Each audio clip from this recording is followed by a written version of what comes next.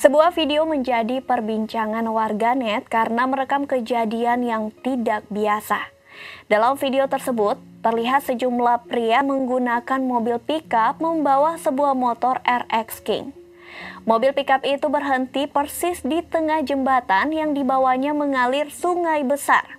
Sekelompok pria kemudian menurunkan motor tersebut dari pickup. Meski tampak kotor dan berlumpur, namun kondisi motor Yamaha RX King sendiri terlihat masih bagus Tribunars.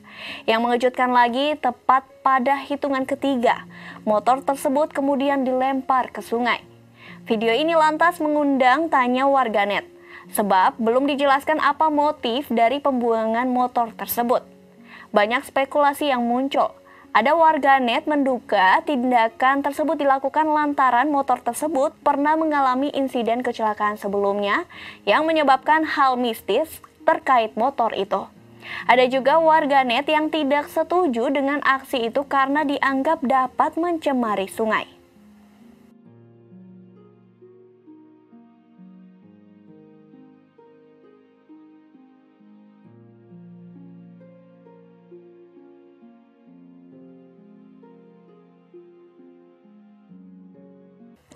Baiklah Tribuners, itulah berita populer Tribun Manado hari ini. Jangan lupa di like, comment, share, and subscribe our channel. Jangan lupa juga nyalain tombol notifikasi loncengnya agar kamu tidak ketinggalan berita populer Tribun Manado hari ini.